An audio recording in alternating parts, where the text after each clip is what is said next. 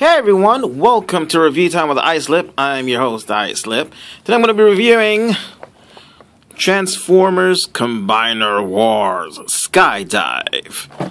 So, here he is. Here's the back of his box. Just have to lift this up just a wee bit. So you can see he forms an arm or a leg, depending on whether you want it to be an arm or a leg. It says Skydive, Master Combat Tactician. Mietre de Tacticis de Combat.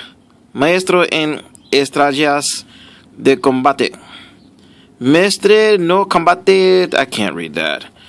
So, yeah. There's that. It's pretty cool. There he is in his box. And honestly, the, with the sort of with the shape of his head here, I think I can repaint this into like a sort of a G2 plane Megatron kind of thing. Uh, we'll see. But I do see repaints of this guy. So these he might be a summer project. Um, he comes with a card which I've already taken out and put with the other cards. He's got his instructions right here. Put that over here so I don't lose it because I might need it just to be on the safe side. And there he is with all his weapons and googly schmooglies. We'll get this and put this out. And I'm sitting outside in my yard, well, on my porch, and yard in my, what do you call it? Put that in there.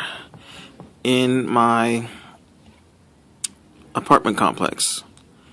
So, and then that can either get just stuck on the wing or put here as a, as a gun. I wish I could. I wish you could rotate the thumb around, but yeah. So, come on, we can do this. So, there you have. lower this down a little bit. There you have Combiner Wars Skydive, and he looks pretty cool. I like him. Um, I kind of wish his head was more square-ish, just like you know. I don't know. I, I just in G1 the head, heads were more square because they actually made the plugs for the what I call it. So um, yeah, so he's pretty cool. There's airplane kibble, of course it would be. There's this weird hole, octagonal hole on his butt. Anyway, um, he has ball jointed head, so you get lots and lots and lots of articulation there. Ball jointed arm, which is also on a bit of a swivel, so you can do that. Um, rotates at the uh, where the shoulder becomes the bicep, elbow, and that is it. Uh, no waist, but he has ball jointed legs and a truck is FedEx. Oh, I wonder if my package is coming today. I've got two more pieces of this guy coming. Rotates, bends at the knee, and that's it. So, uh, yeah, he's pretty cool. So let's go ahead and get him into his airplane mode. So it'll take these out. And the transformations are simple, um, but they're for the most part fairly satisfying.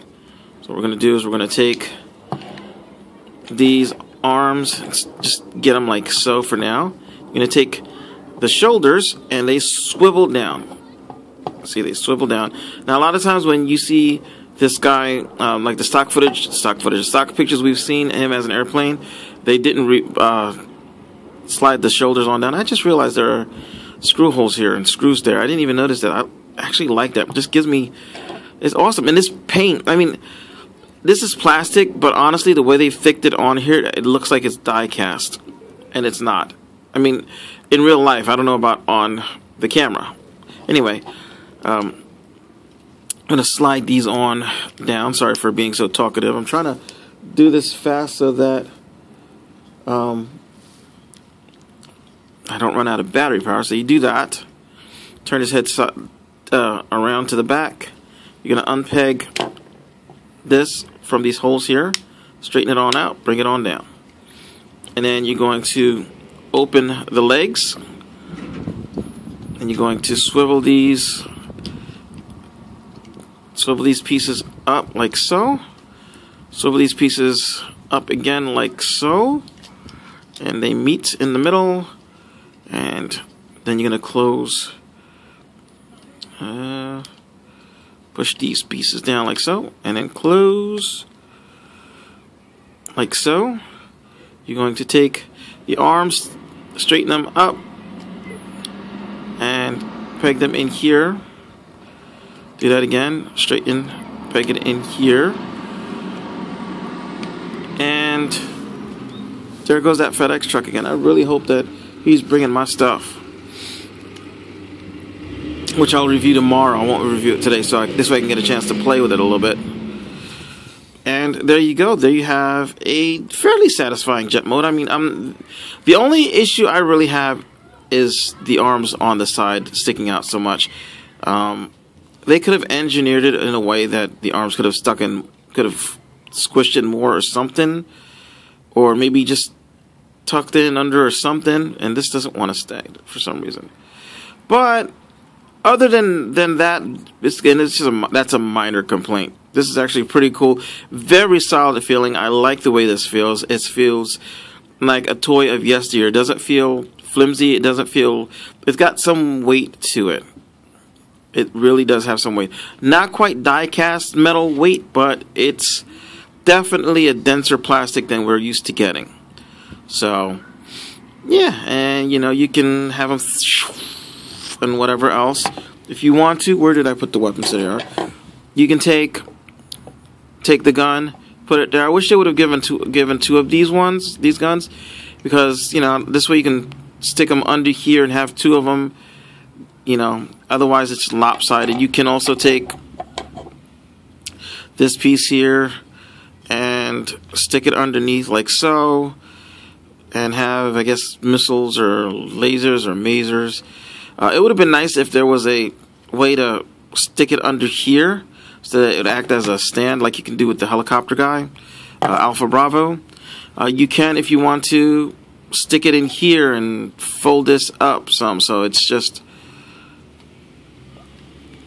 like so, which kind of looks like a hand, but at least there's storage for it. And if you decide to, you can have it, you can put it on a table like this, so it's a little stand and whatever.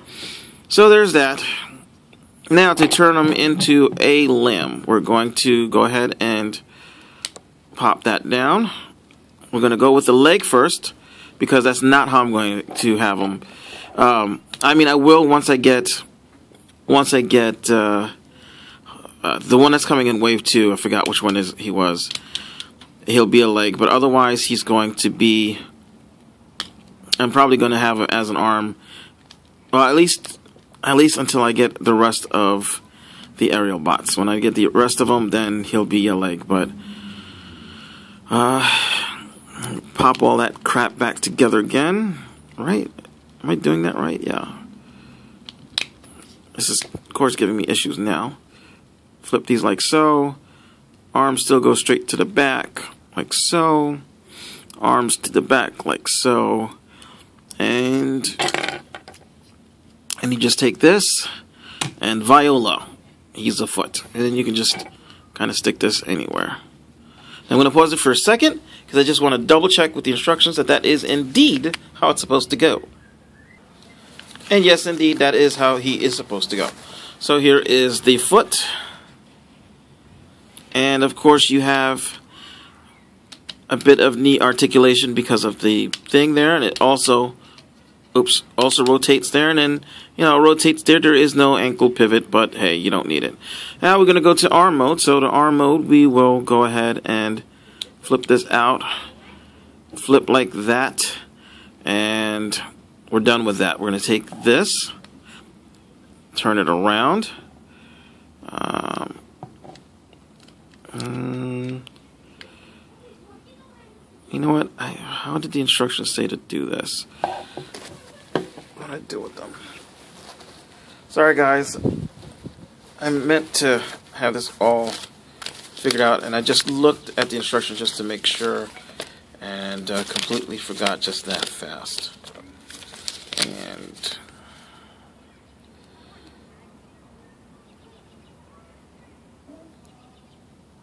okay, I see what I'm Alright, sorry guys. Okay, so maybe I'll edit that out, maybe I won't. So you're supposed to turn this like so, flipping back, rotate, and then this little, uh, I don't know, whatever, it's supposed to slot in right there. So that's pretty nice, actually. Yep, keeps it secure. I mean, of course, there's a fist right there, but hey, you know, what are you going to do? Do the same thing on this side, unpeg, rotate this, uh, bend this at the peg, and rotate this all the way around. Put it in there, and you're right is rain and good as gold. Okay, so there's that. Um, open this up, of course. And we're going to transform his legs almost like we're going to transform almost like we're transforming his legs back, but instead of unpegging them and separating them into legs, we're going to leave them pegged together. So go. And close this up. And I believe that is an arm. I don't know if we're supposed to um, rotate this back up again. Possibly. Do that or leave it down. So we have an arm, rotates. Oh yeah, put this up. So we've got a, an arm. And I guess you could turn it the other way, but then you kind of lose out on the double elbow. Then you just got the one elbow, which I guess that's okay, but then it, it, it goes like that. So make sure the thumb is facing the right way. And uh, then you can put a gun or a weapon in that little peg so it looks like he's holding a pistol. And then flip him like that. So, or just uh, leave the gun here or on the back end of the other one, whichever you like. And uh, yeah, so uh, this is Islip, and um, I really like this guy. I do. I didn't think I was gonna like him as much. Um, I like his. I, this the, the only thing wrong with him really is in the other mode, in the um, jet mode. The arms don't really slot in to the body like in the G1. They, there was a big groove, and you could squish the. So the plane mode was more cohesive. Uh, this one is a plane with arms sticking out the side, and that's you know what though? It's still better than Hasbro's um, other combiners for the last what 15 years. So, yeah. So I'm Islip, and uh, that is that.